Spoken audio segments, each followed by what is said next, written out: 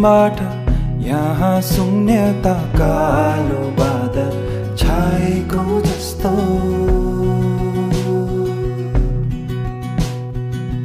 ए साथी तिमी कहाँ छौ? भन न लामो दिनहरू काट्न नै गाह्रो हो। सानो छँदा हामी खेल्ने गर्थ्यौँ त्यो गल्लीमा छिमेकी कराउँथे साह्रो।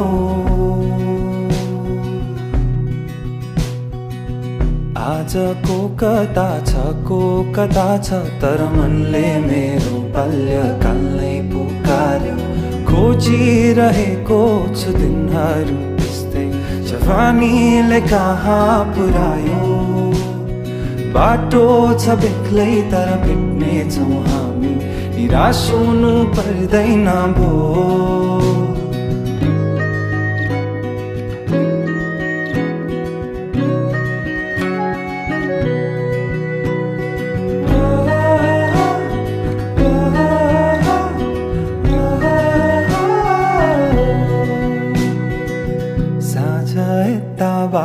तारा हेर्छु तिमी पनि उताबाट हेर है चम्किला तारा सारा मेरा प्यारा। साथी भाइ हेरी नजिकियौँ है।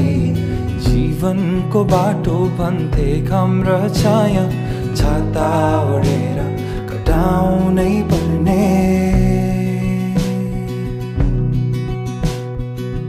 बच्चादेखि पढी लेखी अघि बढ्यौँ हामी सँगै अब जानु नै पर्ने। कोहीलाई भन्नु छ ठुलो मान्छे कोही भने घाडीसँगै बिताउँछन् जिन्दगी जसरी तर साथी भए हुन्छ सजिलै।